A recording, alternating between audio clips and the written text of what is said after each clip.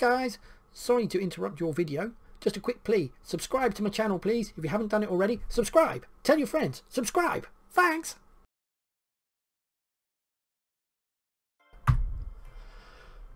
Other stuff. Traffic lights. Okay, this causes... It's all very... Well, I, mean, I know it, so it would be. Right, think of the traffic lights like peppers or tomatoes, right? They start off green and as they ripen they turn red. So they go through yellow to red, right? Uh, you could therefore think of yellow as a midway between green and red or you could think of it as yellow means get ready I'm changing from this to this alright now if I filmed the ripening of a tomato I could watch that film backwards or forwards. So if I was watching the film, it could go from green, yellow, red, or it could go red, yellow, green, couldn't it? Because I could just play it backwards or forwards. Okay? I am going somewhere with this, by the way. Now I'm showing you this film, but I haven't told you which way I am running it, so it could be forwards or backwards, right? And if I started with a yellow, how would you know if it was going to go red or if it was going to go green because I haven't told you which way I'm running the film yet. You wouldn't. And that's why you need to know the sequence. Okay, a lot of people think that when you get an amber it could go either way. How the hell do you know? It's because there is own a specific sequence of lighting. You don't just get an amber light and it could go either way. It only goes one way. So, starting with a green tomato, the sequence would naturally go green, amber, red. Don't forget that when we talk yellow, amber, it's the same thing. Okay, but when we're talking about traffic lights and stuff, we always say amber. Or you could say it means go, get ready, stop. Right? Because that's what it means. Green, amber, red means go, get ready, stop. If I was coming back down, what you actually get on a traffic light is you get red and you get red and amber. So notice how I said to you, don't get amber on its own. If you only get amber on its own, it's going in one direction only. When you come back down, it's red and amber, green. So what it means is stop, then stop, but get ready, green. So it means go, get ready, stop, stop, but get ready, go. Notice the difference, all right? So now you know you only get amber on its on its own when you're going from green to red. When you're coming back down, it's red and amber. That still means stop, but it's basically saying stop, but get ready. Whilst I'm talking about the old amber, the rule is amber means stop at the line. But because it's not a full stop, it's sort of ripening to a full stop, if by stopping you are going to cause an accident, you may keep going. So it still means stop, but if by causing an accident you stop, then you can keep going. Therefore, on the approach to a traffic light, it is really important that you know who is behind you and how close they are. Can you stop suddenly or can't you? Alright?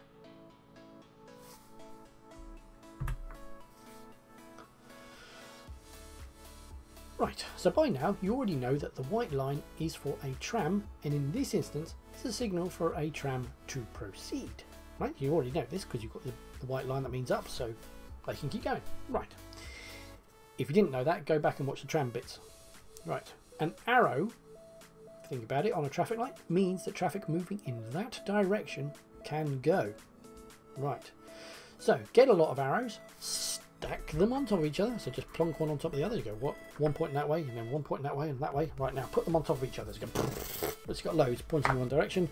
You would end up with a green circle. So therefore, a green circle means that you can go in any direction because it is just basically loads of arrows pointing in lots of directions. This means that people turning right get to go early, but everybody else must stop.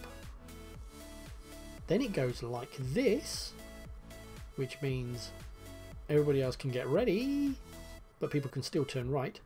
And then it goes like this or this, right? Now, because a circle means that anyone can go in any direction, that means that people can also turn right. So it's just that it's confirmed, it's doubled up. So this actually is the same as that. It's just that that's overkill. See what I mean? Because the circle itself says that you can turn right anyway. So these arrows are often used during rush hour times and at weekends they don't bother using the arrows. So don't just sit there waiting for an arrow if it's a weekend. A green circle means anyone in any direction can go. Sometimes you get traffic lights with go left or go right ahead only, etc. on them. The traffic light adjoining it is therefore only for people going in that direction. So for instance here, this is an arrow saying ahead only. So therefore this traffic light is for people going ahead only and this one is for people turning left only. The light itself, in this instance, they do actually give you arrows, like do this, uh, but it could be a circle. But because the circle is connected to that blue sign, then that circle is only for people going in that direction. But if that sign wasn't there, then anyone in any direction could go. Alright? This one, right, I mentioned it earlier. Traffic lights stopped working sometimes. Well, traffic lights do stop working sometimes. And whilst we're waiting for them to be fixed, you will get this sign. So, Traffic lights change priority, as I mentioned earlier.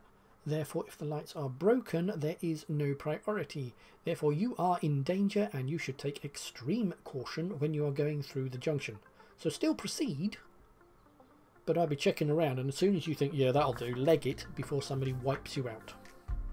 But careful. Uh, I have done a video specifically on pedestrian crossings as part of all of this theory stuff, so go and have a look at it. Right, matrix signs. These are the signs you get down the middle of motorways and in overhead gantries and all sorts of stuff like this. Okay, um, and they are supposed to sort of semi-reflect what are the normal road signs are. Okay, so for instance, this means change lane or move to the left, just like the keep left sign here that we normally get on a traffic island in the middle of a road in town. Uh, this means the right hand lane is shut, just like this does. So you see what I mean? So they try to represent. Here, temporary advisory maximum 50 mile an hour. It's only legally enforceable if in a red circle or accompanied by the roadworks sign if we go back to the speeds okay so there's no circle on it but if we had a roadworks sign and that sign then it is legally enforceable but if that was just in the middle of the motorway because it's foggy then it is only an advisory speed limit.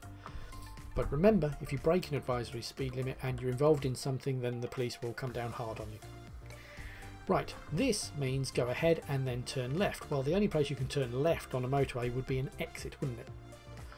So, just like this one, go ahead and then turn left. So this on a motorway means get off at the next exit. And this is the end of the restriction that might have been shown in the middle. And these restrictions might say fog, for instance. Okay. Um, remember, if it's on its own, it's only advisory. Right. It becomes legally enforceable. I've just covered it in a Red circle or accompanied by the roadwork sign, rule 288. There we go. So that is the newer version. So you can have the 50 in a red circle. So that is legal. Um, that and that is legal. You can get them above lanes or on the side of the road. They could be on the left or they could be on the right. Um, if it's over a specific lane like this, then that applies to the lane. If it's on the side of the road, then it applies across the entire carriageway. So here we've got queue caution 40, the entire motorway has to comply with that. Um, remember a red cross, like here and here. Uh, do not pass a red cross. It is illegal. If it applies to all lanes. So if that had a red cross in it, you have to stop and wait for further instructions. The motorway is closed. So the whole motorway comes to a stop. I'll turn my engine off, chill out. Alright.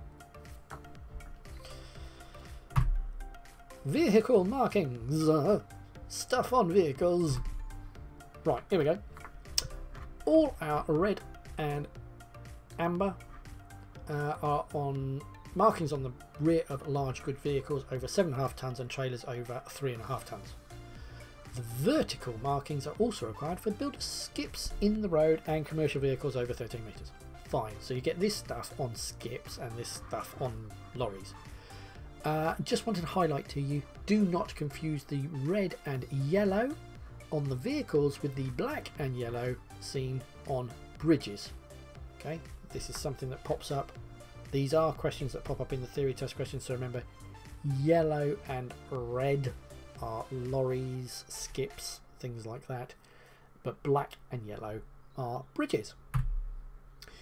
You get details of the type of cargo in the lorry. It's to help emergency services if they have to deal with an incident involving them. So, like, you get these plaques here. Uh, not entirely sure what all of that guff means, but it does mean that they're causing, they're carrying flammable liquid and it's poisonous to the environment, so we don't want spillages. And it'll blow up, so the fire brigade will stay well away from it. Right, these things are required when load or equipment overhangs front or rear by more than two meters. So for instance, he's going to put these stripes around here. He's got them on the back, so anything, this bloke is a bloody great. He's got legs that come out the side and these are massive skip that will well exceed the length of the vehicle. So they've got these stripes all over them. This one, again, theory test question, school bus. Uh, he's got it there. And it doesn't. It only needs to be displayed once. It could be on the front or the rear. Doesn't matter.